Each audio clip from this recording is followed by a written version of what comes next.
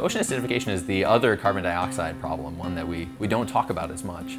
So when carbon dioxide dissolves into ocean water, it actually reduces the pH. It makes the water mo more acidic than it has been before. And it makes it much harder for marine animals to make their shells. So their shells get more brittle.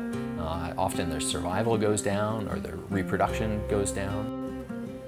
In talking with fishermen who rely on shellfish resources or aquaculturists who grow shellfish, I'm often asked, how is ocean acidification going to affect my business, my fishing? These people have heard what ocean acidification is, but how it's going to affect their bottom line isn't clear. And I, I think that's a, that's a really important issue for us to address as a science community. For example, sea scallops here on the East Coast. It's the most valuable fishery in the United States about $110 million here in New Jersey, about $600 million nationally.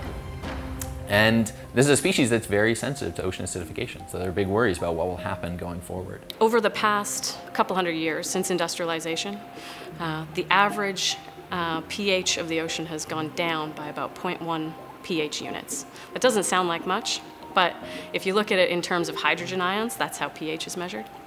That's a 25% change. So that's a massive change. And we're looking at probably an even bigger change over the next decade, 50 years.